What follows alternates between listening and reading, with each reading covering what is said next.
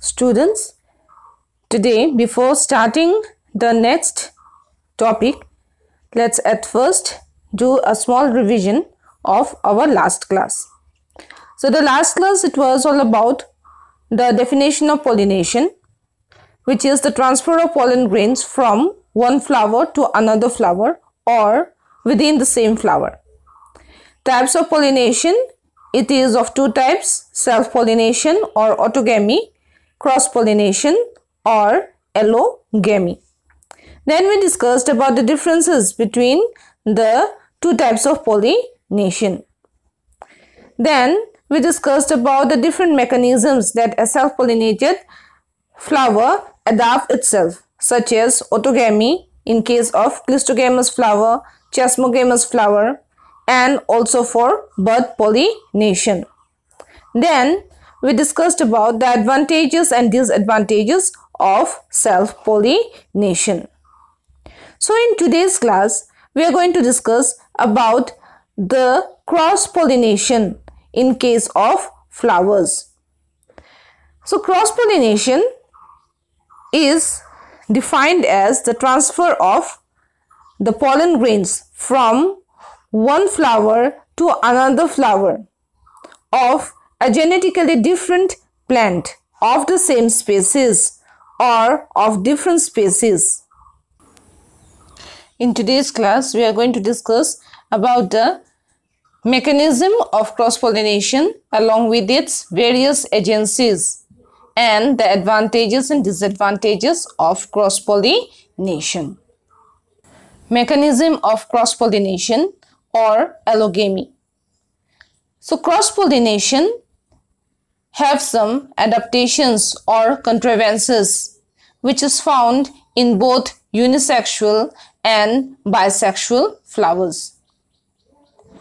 In case of unisexual flowers, self-pollination it never takes place.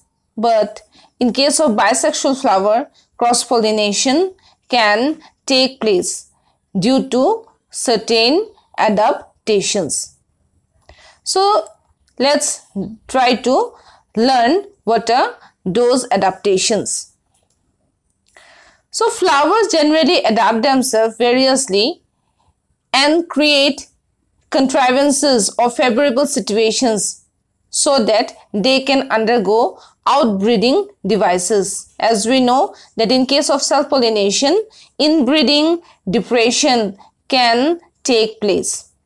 Therefore, certain bisexual flowers, they go for such outbreeding devices so that they have some variation. So, the contrivances of a cross-pollinated flower, first one is dicliny or unisexuality.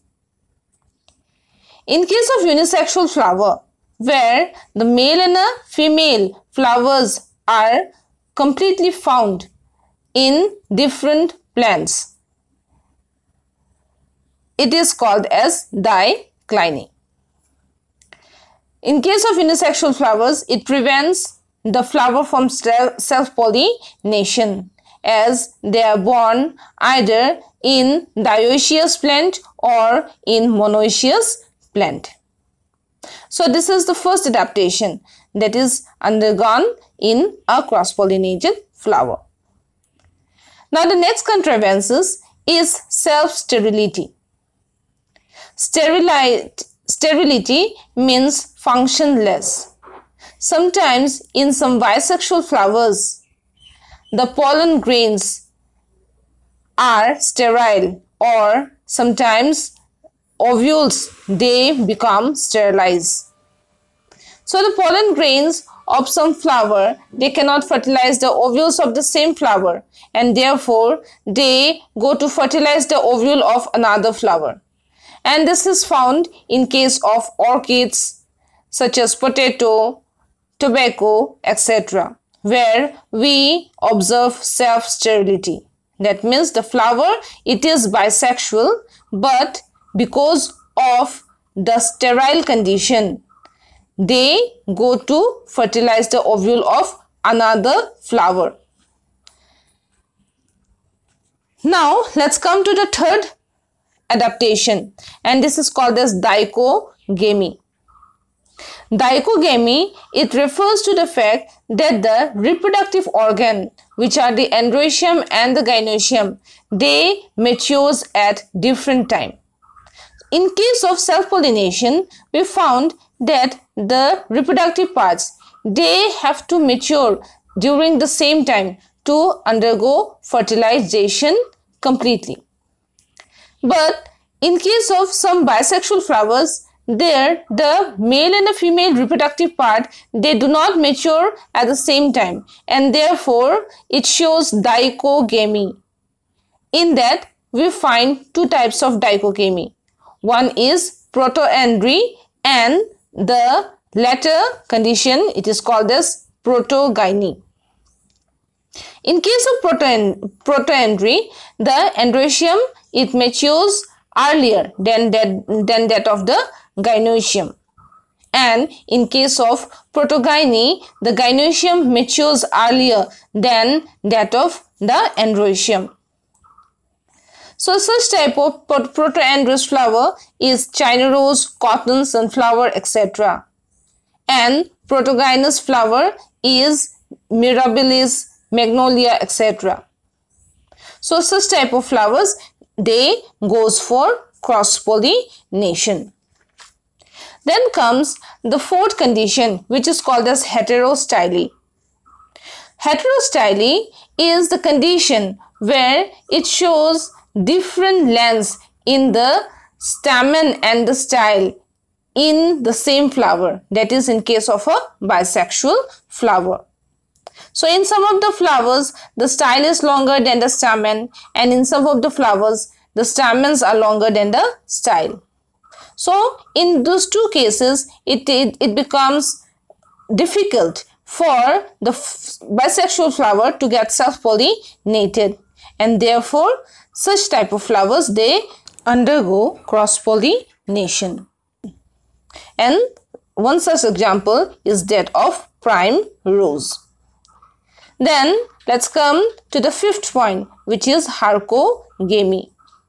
Hercogamy it means that there are some barriers in the reproductive organ and that reproductive organ is mainly the gynoecium.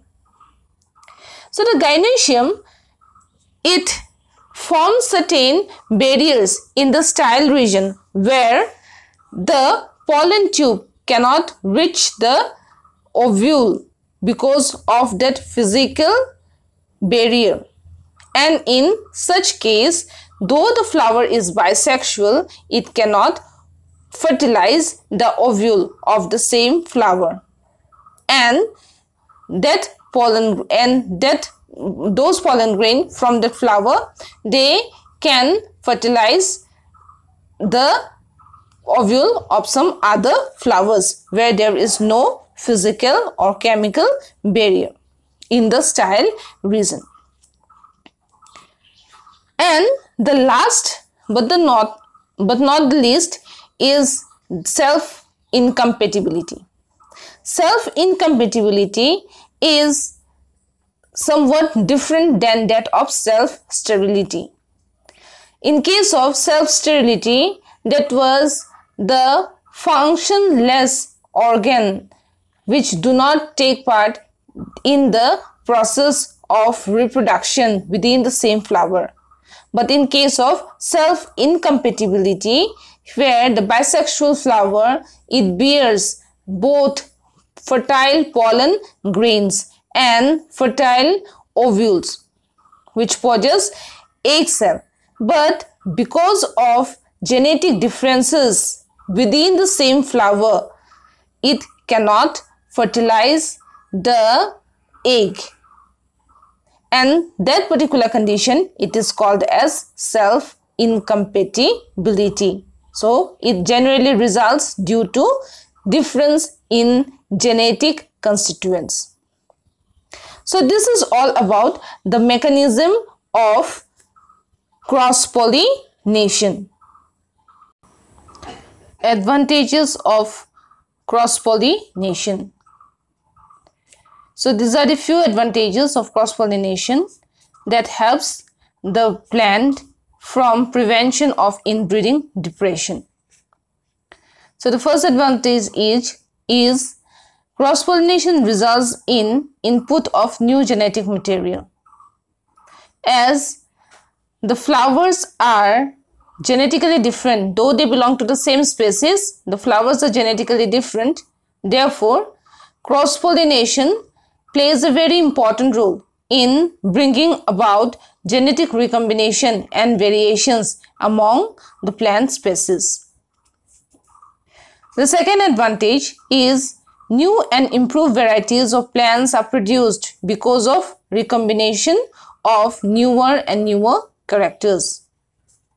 So this is another advantage that new varieties of plants can be produced by cross-pollination. Then comes the third point that the cross-pollinated flowers are more resistant to diseases. This is because of the genetic recombination that is taking place in case of cross-pollinated flower where they are resistant to diseases, flood or any kind of adverse environmental conditions. Fourth point is cross-pollinated flowers produce much healthy hybrid seeds. So we can develop hybrids from cross-pollination. And more seeds are produced due to cross-pollination. Now let's come to the disadvantages of cross-pollination. The first disadvantage that it is that it is not a sure method of pollination.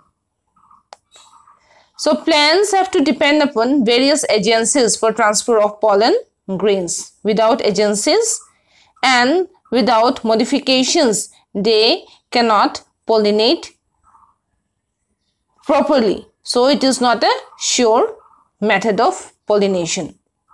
Then the second point that is that it is a wasteful method as large quantity of pollen grains are lost in transit but du during the process of transfer of the pollen grains from one flower to another flower of different plant.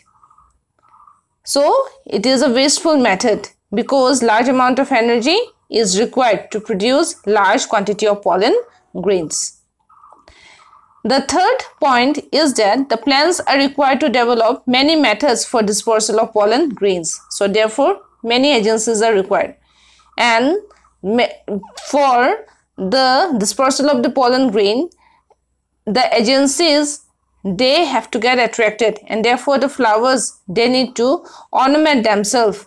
That means again more energy is lost in cross pollination and the fourth disadvantage is that harmful characters can also be added in a healthy plant body.